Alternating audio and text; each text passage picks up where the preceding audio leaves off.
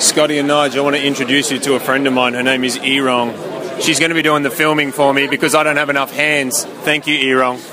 Welcome. She's the best.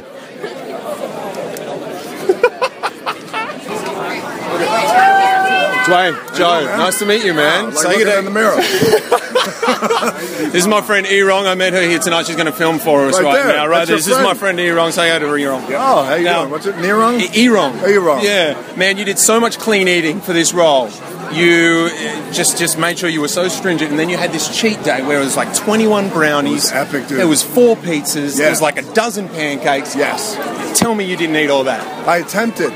I downed all the pancakes, Yeah. all the brownies, crushed them all. About a pizza and a half.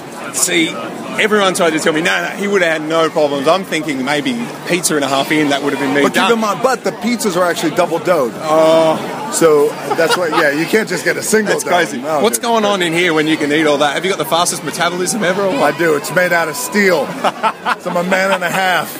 Man, I'm gonna have to let you go because you're running late. It's Thank good you to so meet much you, brother. for stopping. Yeah. Good on you, man. Hi, you're wrong. You're wrong. yeah. Yeah, you got it. All right. Brother? Dwayne the Rock Johnson, Erong. Yes. Give her a cheer, everybody. Yeah.